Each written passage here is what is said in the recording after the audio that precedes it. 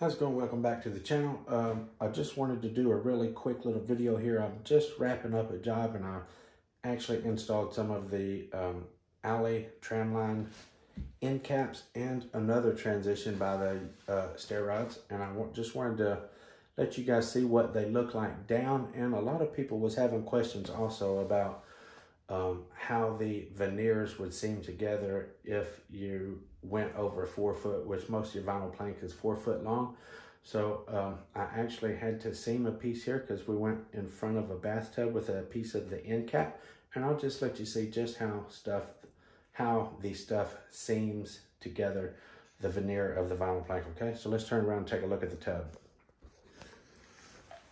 So this is it right here. This is the end cap right up next to the tub. You can see, let me get back here where you can see the whole thing. So this is what it looks like here. Absolutely beautiful, beautiful transitions. And um, you can see the thing with these transitions is I use the exact same vinyl plank that I installed here and I take the veneer off of it and put the veneer right down in that. Now, um, like I said, a lot of guys was talking about, well, how does it go when you have to make a seam in it, in the veneer? For instance, this piece right here was like 56 inches or something like that. Well, I'm gonna get a good look right here at the whole trim piece. And then we will take another look I'm gonna go slow. Okay, now I wanna see, it's just like anything else. Everything requires practice.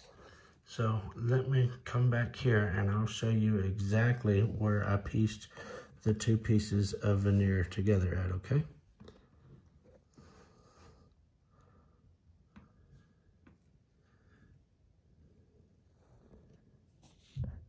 So you see that right there?